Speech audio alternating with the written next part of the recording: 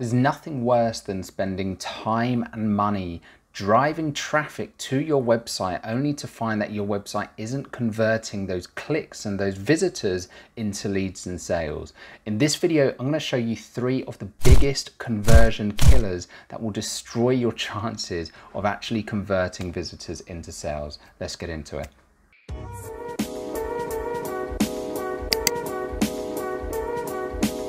The first big problem I see is people using dull, lengthy contact forms on their website. Gone are the days where people want to be filling out long forms, right? It's all about speed and convenience now. You only need to look at the likes of Amazon, Uber, and Netflix to realize we live in a world where we crave that convenience, we crave speed and ease of use. So you really want to be making it as easy as possible for your customers to contact you. Don't ask for more information that you need, right? I see this so many times where contact forms are asking for things like date of birth, address, email address, name, last name. Like, you don't need all of that information. Maybe in some industries there are particular things that you need to ask for, and that's okay. One of the things that's just worth bearing in mind though is like really ask yourself like what's the minimum what's the minimum amount of information i can take up front? Because you will find the more contact fields that you have someone to, somebody has to fill out to get in touch with you the less likely they are to convert right? So a really good idea about this is kind of reframing a lot of the time some of these things as well. So instead of, for example, having a whole contact form, what we've done for some of our clients is actually put a call me back button on the website, right? Where all we're collecting is their name and their contact number, right? The, the details that people, that company would actually need to call this person back. That is all we need at this stage. We don't even need an email address. Or on the contact form, again, keep it very simple. Maybe it's just a name, business name, email address, or even name and email address. You really want to try and make this as easy as possible for people to contact you.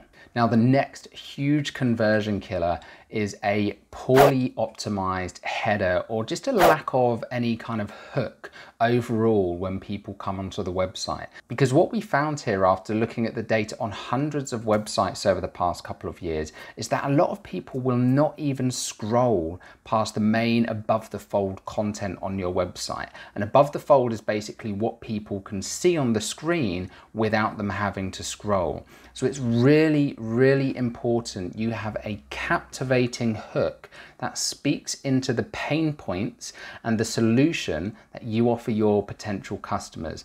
There is no space here for error. There is no space here for trying to be smart or clever and using, you know, big fancy words in your headline, right? You need to be getting crystal clear and straight to the point as to what you offer your customers.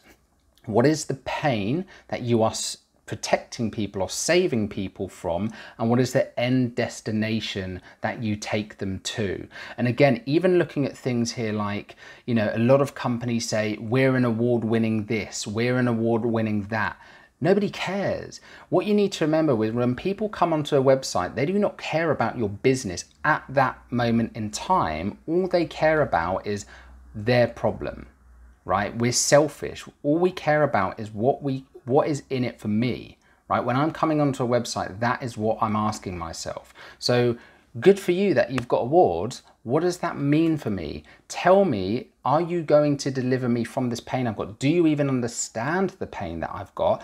and I, are we aligned in this end destination that I want to get to, right? So you really need to make sure that first bit of above the fold content on your website is actually giving people a hook for them to want to read on. You can then start by showing things like some, you know, credibility and social proof, displaying awards or testimonials from customers. But that initial section needs to be giving a compelling hook for people.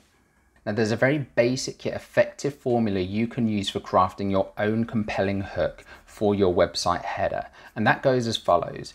We help audience achieve desired outcome without major pain point right? So you're speaking to those three core elements that you actually help people with, right? So who is the audience? You're calling them out straight away. You're then going into the desired outcome. So people resonate, they, they can see there's some future pacing, they can see where they want to get to, and then you're speaking into their current pain points that they're having, right? So this can be a really good way to just grab people's attention initially when they come onto your website without confusion, without ambiguity, and get them to continue reading the rest of your website and taking action. Now, the next biggest conversion killer is just having no real call to action on the website, right? A lot of people will fill their website with information about them and they'll then have a contact form that they just expect people to click on. It might sound obvious, you might expect that people would just figure it out and click on the contact form, but you will be amazed how much just having strong call to actions on your website saying click here, sign up today, how much of a difference that can actually make on your conversion rate. We've seen websites that have literally gone from getting zero conversions to getting over 10 leads a day just by having a strong call to action on the website. And you want to make sure this is consistent throughout your site. Now, an example of this could be that you are grounding people in the cost of inaction, right? What's going to happen if they don't contact you today, if they let this problem that they have go on any longer? Right? And for e-commerce stores, for example, they may want to use things like countdown timers to incentivize deals, offers, and things like that. Whatever you can do to to bring in those compelling calls to actions. Maybe it's like limited stock, limited time availability. If you're a service based business, again, maybe grounding people in what is the cost of them not taking action today, right? Like, how bad is this problem going to get for them? And repeating that call to action.